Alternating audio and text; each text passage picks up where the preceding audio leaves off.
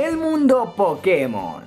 Hogar de criaturas increíbles y aventuras inigualables. Aquí podremos encontrar a los entrenadores Pokémon, personas que se dedican a atrapar, entrenar y a estudiar a estas criaturas. Los entrenadores Pokémon pueden empezar por su cuenta, pero siempre encontrarán amigos en su viaje los cuales serán de gran ayuda al momento de enfrentar gimnasios o hacerle frente a algún Pokémon poderoso o legendario. Y ahora, desde este momento, también podrán ayudarse mutuamente a finalizar la misión más importante de cualquier entrenador, completar la Pokédex.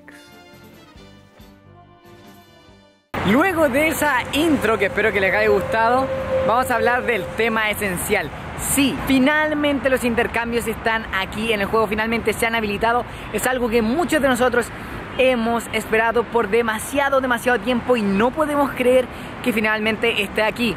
Tiene muchas restricciones, viene acompañado con un sistema de amistad y muchísimas cosas que probablemente ya saben.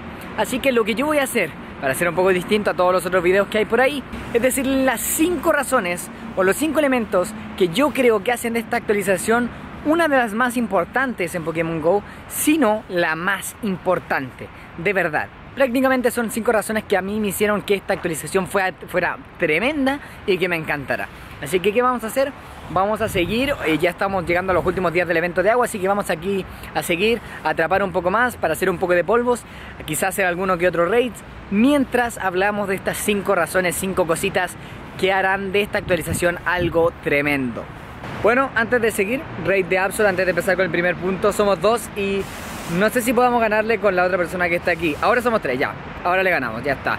quería hacer este Absol porque puede salir Shiny. Empezamos la raid, vamos bastante bien, se unieron harta gente y mientras golpeamos a este Absol, que ojalá salga Shiny, vamos a empezar a hablar del primer tema. El primer punto es nada más ni nada menos que los premios que te dan por el sistema de amigos. Voy a aclarar algo, para la gente que no sabe, el sistema de amigos viene con niveles, cuatro niveles, y dependiendo de eh, la mayor nivel de amistad, mayor bonus que vas a tener con tu compañero. Antes de empezar a decir qué bonus tiene, tengo que decir cómo se sube esto para la gente que no sabe.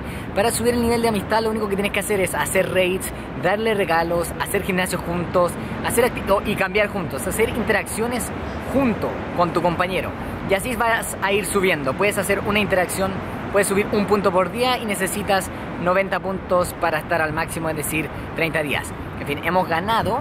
Vamos a ver si nos sale Shiny. Shiny.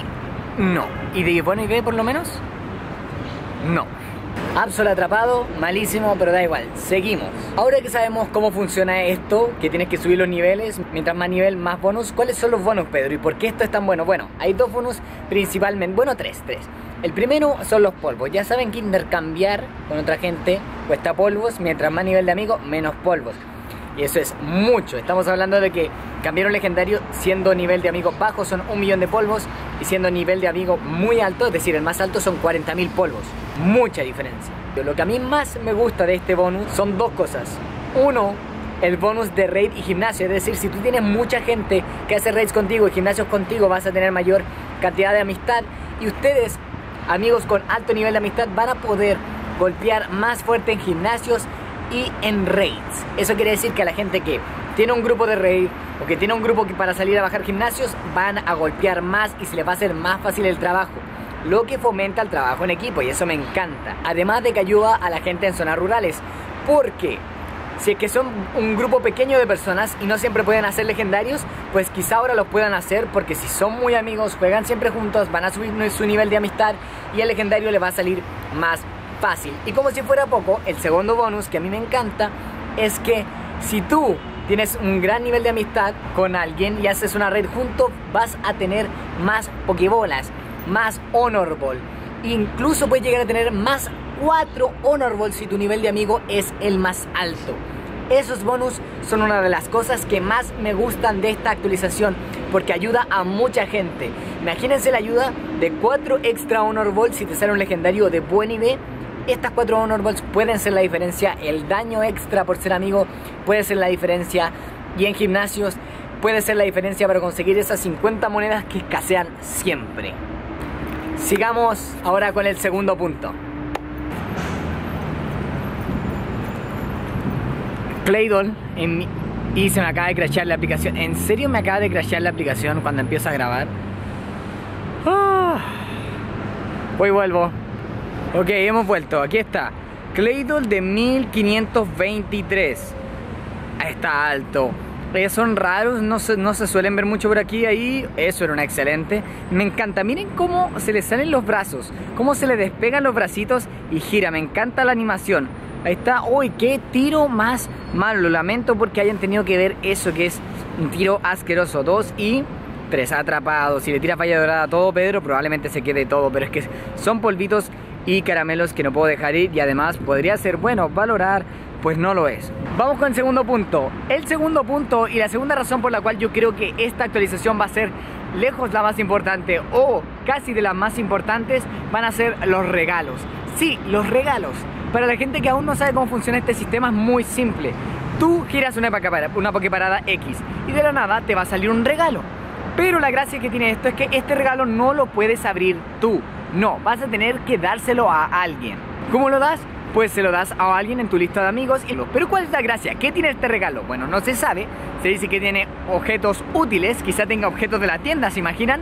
Trozo estrella o cosas así, sería tremendo. Pero lo que sí se sabe que tiene son huevos de 7 kilómetros especiales con Pokémon de Alola. Así que si tienes amigos que giren muchas paradas, pues pónganse de acuerdo en su grupo de amigos para irse turnando los regalos, porque créanme que todos van a querer esas formas Alola. Yo ya espero mi mock, así que si alguien tiene un regalito por ahí, pues estoy atento, ¿ah? Estoy atento. Pero en fin, muy bueno, fomenta el trabajo en equipo, fomenta la convivencia entre jugadores y eh, nada, o sea, imagínate a tu amigo le llega un Pokémon muy bueno gracias a ti muy buen gesto, ¿no? Me encanta esa parte de la actualización. Sigamos, necesito seguir aprovechando este evento. Quién sabe, a lo mejor nos sale un Pokémon ultra mega raro. Ya nos han salido varios.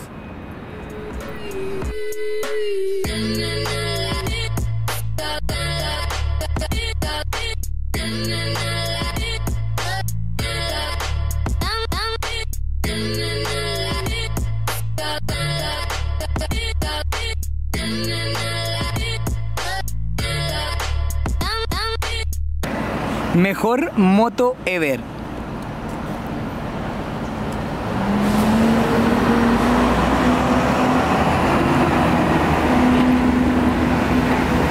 Una pequeña raid de Sharpido por aquí antes de seguir. Y empezamos con el Sharpido. A ver, es un Pokémon que va a morir, me va a matar mucho Pokémon, pero va a morir muy simple y muy fácil, así que puedo hablar con ustedes simplemente apretando la pantalla y no va a pasar nada. ¿Ok? El siguiente, el tercer punto, o la tercera cosa que me hace decir que esta actualización es grande grande, muy importante, son las limitaciones que tiene. Yo creo que a esta altura ya todos saben la limitación, es decir, eh, bueno, primero los polvos, eso es una limitación, que si no eres un buen amigo, un legendario, transferir, cambiar un legendario te va a salir un millón de polvos, eso yo creo que eso es crítico. Luego también, obviamente, el hecho de que los IBs cambien, eso es una restricción gigante. Todo el mundo pensaba que cuando eh, llegara el intercambio se iban a poder eh, cambiar 100% así a tonta y a loca y eso no es posible. Hay gente que le gusta, hay gente que no, ya voy a hablar de, de mi opinión sobre eso. También tiene que ver con los shinies, es decir, los shinies y los Pokémon que tú no tienes, es decir, los que no tienen registrados también van a ser calificados como intercambios especiales junto a los legendarios, por lo tanto también van a costar muy caro, estilo un millón de polvos. Esas son básicamente las limitaciones, es decir, polvos, eh, los IVs cambian, el nivel cambia, todo cambia al momento de cambiarlo. También por si no lo sabían, los intercambios especiales se pueden realizar una vez al día, es decir, si tú quieres cambiar un legendario o un shiny o un Pokémon que tú no tienes, solo puedes hacerlo una vez al día. Así que sí, hay, hay restricciones, bastante. Ahora terminemos con este Sharpedo, no le queda absolutamente nada de vida. Veamos si me sale bueno. ¿Cuánto es el PC del bueno? No tengo ni la menor idea. 1101. ¿Es eso bueno? No lo sé, la verdad. ¿Qué quieren que les diga? Creo que no. Creo que 1115 por ahí debe ser el bueno.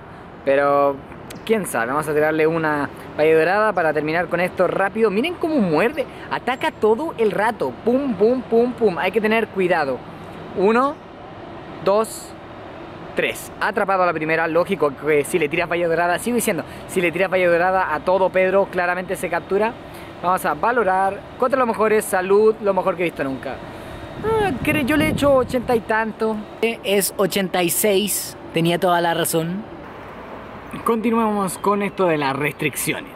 El hecho de que, por ejemplo, no se puedan pasar Pokémon de IVs exacto, es decir, que vayan a cambiar, es totalmente para no beneficiar a la gente que hace trampa en el juego, a la gente que ocupa estas aplicaciones para falsificar el GPS y que pueden conseguir casi cualquier Pokémon. Ahora ya no, porque no hay ningún radar, pero en su tiempo cuando había radar podían conseguir el Pokémon que quisieran. Entonces obviamente esas eh, cuentas no solamente se verían beneficiadas porque podrían cambiar todo a una cuenta legal y que no les pase nada, sino porque podrían vender los Pokémon 100%. Y eso ahora ya no se puede porque el cambia. Nadie va a comprar algo que luego va a terminar siendo una basura de eBay. Ahora con respecto a los polvos, bueno, esta es una limitación que mucha gente le dice como, ah, bueno, a ver, acepto lo de los IB, pero los polvos como que no tengo tantos.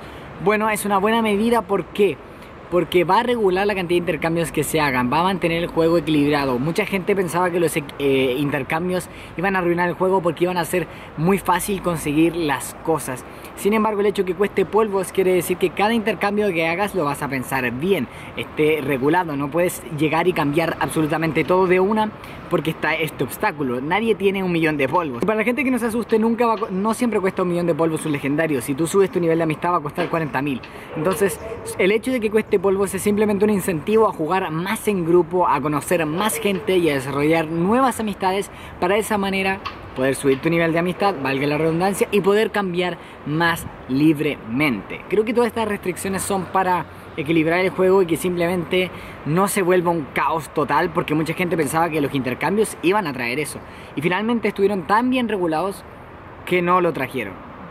Para mí está bien implementado, no me molesta mucho lo de los IB, eh, pero sé que hay gente que sí, ¿ok? Pero tranquilos, todos tenemos su opinión, déjenla en los comentarios. Siempre es bueno escuchar la demás gente, pero esa es mi opinión sobre este tema por lo menos.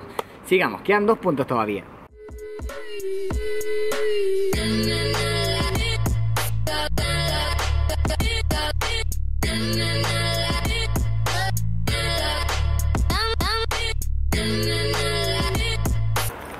Fibas aquí, Pokémon raro, pero que en el evento de agua me ha salido bastante. He conseguido un montonazo de caramelos de este y la verdad es que lo aprecio mucho.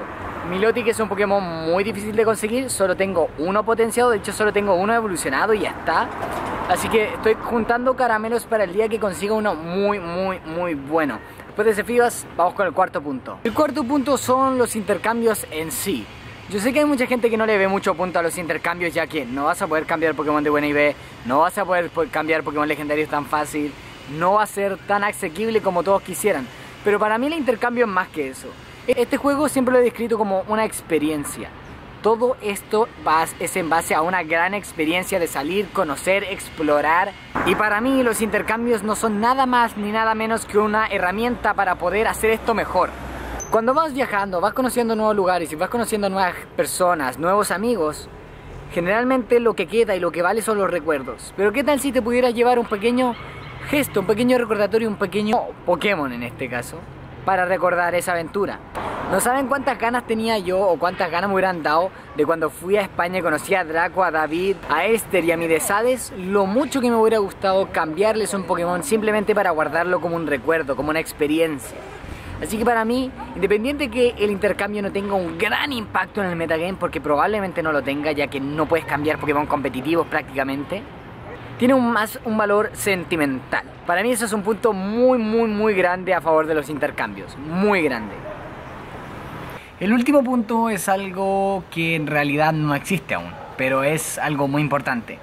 El hecho de que los intercambios estén aquí finalmente y hay un sistema de amigos donde puedas registrar a la gente que está aquí y puedas interactuar con ellos de manera directa, como es hacer un intercambio, eh, abre la puerta para próximas actualizaciones tengo dos en mente, obviamente tenemos el PvP, que es una interacción entre dos personas mientras pelean. El hecho de que Niantic ya haya implementado una forma de interactuar entre dos celulares distintos, ¿vale? Vía Bluetooth en este caso, da la apertura al PvP. ¿Por qué? Porque ya teniendo un sistema de amigos donde puedes registrarlo, se puede ocupar eso mismo para luchar. Así que prácticamente si es que no lo lanzan pronto es porque están intentando quizá mejorar el sistema de batalla antes, pero ya técnicamente podrían hacerlo. Pero algo más específico y mucho más realista es ocupar los intercambios para nuevas formas de evolucionar. Para la gente que no sabe, en los juegos originales hay Pokémon que solo evolucionan por intercambio. Estoy hablando de Alakazam, Machamp, Gengar, Golem, que obviamente en este juego evolucionan simplemente con caramelos y probablemente no los cambien, pero hay algunos que no han sido implementados aún, muy sospechosamente. Estoy hablando de Clamperl y sus línea evolutiva Gorbis y Handtail ellos dos evolucionan con un objeto e intercambiándolo. Es decir, das un objeto y lo intercambias. Me parece una idea bonita para que sea un Pokémon exclusivo y que también fomente el uso de esta nueva modalidad de juego. Me encantaría que saliera Clamperl de la nada y te dijeran, para evolucionar a Clamperl debes cambiarlo. Y así te obliga a interactuar con personas, a crear nuevas conexiones, nuevas experiencias y nuevos recuerdos. Que es de lo que se trata el juego. Bueno, estamos en la casita y eso es todo. La verdad que estaba editando el video, se me hizo un poquito largo. Espero que me perdonen por eso. Espero que les haya gustado este video. La verdad es que le puse mucha gana y mucho esfuerzo. Y nada, que la pasen bien, por favor díganme qué opinan ustedes de los intercambios, si les gustan o no, si cambiarían algo o no, pero en fin, eso ha sido todo, espero que les haya gustado y si es así, por favor denle like y suscríbanse que me ayuda mucho y nos vemos en el próximo capítulo de Pokémon GO. Chao gente, los quiero.